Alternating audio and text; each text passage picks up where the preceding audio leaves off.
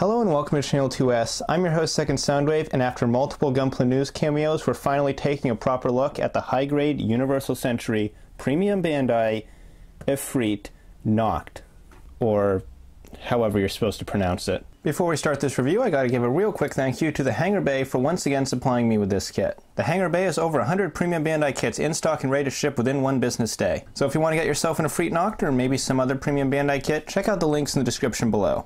And now, on with the review. The Efreet is a bit of an interesting mobile suit. It's not very popular in the Gundam anime, but when it comes to Gundam games, it's everywhere. There's been Efreets in everything from Missing Link to Blue Destiny to Battlefield Record, which is where this particular variation is from, and pretty much all of them look awesome. But I think this one might be one of my favorites. The primary color of this kit, I'm admittedly not sure is actually coming off properly on camera, but it is a very dark purple. Looking through the viewfinder right now, I'm seeing it as kind of a bluish color, and I gotta say that is not exactly accurate. But camera honesty issues aside, this kit is a very good looking model. I do love the design of the Efreet from the get-go, and the new changes they made for the Nacht look fantastic. This kit's based off the high-grade Universal Century Efreet Schneid, so before I go any deeper into the details of this kit, I think the best thing I could do is pull in my own Schneid for a little comparison.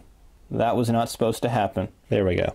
When I set these figures side by side for the first time, I was really impressed by just how much new tooling there actually was. And by far, the best change they made from the original Schneid was removing these stupid knives. Having to pick up and handle this kit again for the review really reminded me how much I hate these things. Not only do they fall off constantly, but they're placed right at the most natural places to hold onto the kit when it's in your hands. This mobile suit was really not a good idea, and it's a shame that this is the only version of the Efreet we got at retail. Nacht, however, is a much more solid experience in the Schneid. You can grab onto his shoulders and pose him while holding onto his waist and tug on his arms and do all sorts of things like that without worrying about little knives bouncing off the floor and falling under your bed. The Nacht does have its own weapon attachment ports, but they are much more secure and placed in less obtrusive locations. But anyways, let's not lose our focus. The retooled parts on the Efreet Nacht are almost everything. Most of the cosmetic armor pieces on this kit are either brand new or taken from the Efreet Kai new shoulder pads, new forearms, new forearm add-ons, new chest,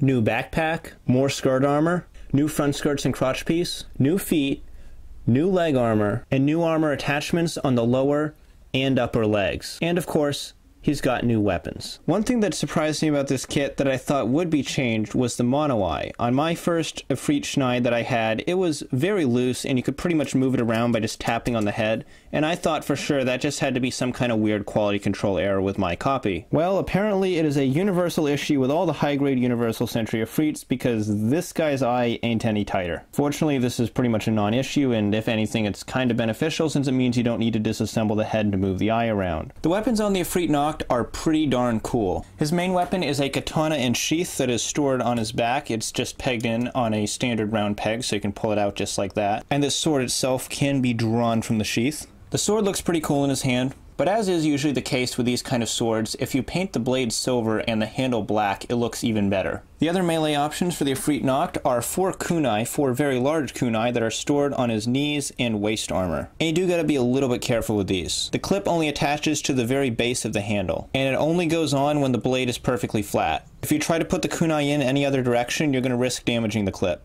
which is exactly what I ended up doing with this one, and that's why it doesn't fit as tightly as the others. Once you take apart the hands, pop the kunai in them, and attach the hands back together, you got yourself another great looking set of melee weapons. Just like with the sword, I think the kunai could benefit from some silver paint on the blades, in fact even more so than the sword, since they're just flat purple. But even as they come right out of the box, they're still pretty nice weapons. The last weapon on this kit is kind of built into this little forearm piece, although it does require a little bit of parts forming. To use it, you have to rotate, remove, grab your extra barrel attachment, attach, and attach. And what you got yourself now is just a simple three-barreled cannon mounted on the Efreet's arm. It's a pretty nice looking weapon. I do like the extra detail underneath the armor. It really helps sell the look. There's really only one place where I feel the Efreet Nacht underperforms, and that's articulation. I'm not going to show all the articulation for this kit since a lot of it is very similar to the Schneid. So like the arms have a pretty standard range of movement. The head swings around okay, but it doesn't really look up and down. The torso technically has joints, but it's basically a brick because of how the hoses work. Where the articulation changes is when we come down below the waist. The Nacht has these extra add-on pieces on the sides of the thighs. They're on ball joints and that does allow them to move out of the way a little bit, but they still hinder an awful lot of articulation. So on the Nacht, you're only able to bring the hips out to about here.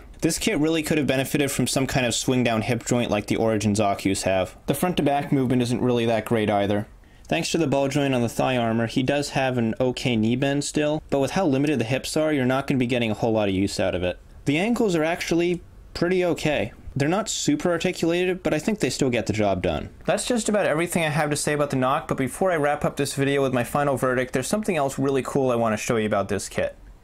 You get a lot of leftover parts. There's an entire runner in this kit that's taken straight from the Efreet Custom and it has a huge quantity of leftover parts. Now you don't get a perfect set of Efreet custom parts. Obviously you don't get the shoulders, you don't get the backs for the missile pods, you don't get the vents and thrusters for the leg armor. But between this runner and its duplicate, you get a lot of kit bash fodder. If you wanted to, you could even combine the parts left on the runners with the standard Efreet Nacht and make an Efreet of your own creation. In my eyes, the Efreet Nacht is superior to the Efreet Schneid in almost every way. The articulation hindrances caused by the new leg armor are a bit of a shame, but the Efreet Schneid wasn't exactly a build burning Gundam itself. All it takes to make a better high grade Efreet than the Schneid is just to remove the knives, but the Nacht goes above and beyond that with an awesome new look and great accessories. And for that, the Efreet Nacht gets a thumbs up although this guy is still my favorite Efreet kit ever. So if you want to get an Efreet Nacht for yourself, or any of the other multitude of premium Bandai kits at the Hangar Bay, you can follow the link down in the description to check them out. Thanks for watching, leave a like if you enjoyed this video, subscribe if you're new,